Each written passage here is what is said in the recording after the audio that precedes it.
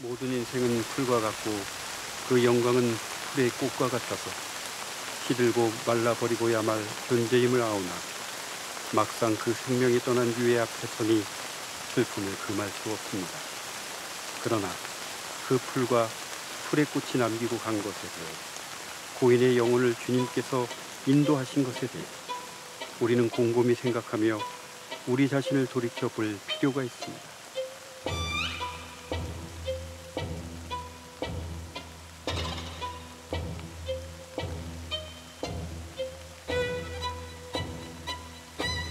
아쉽다.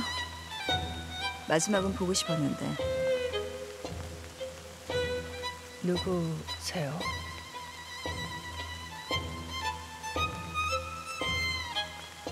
전 에밀리 고라고 해요. 아, 니들한텐 다른 이름이 익숙한가?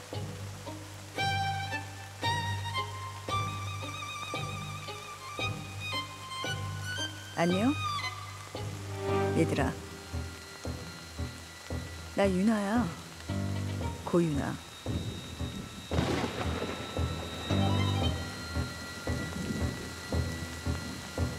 너도 잘 있었어? 도저히.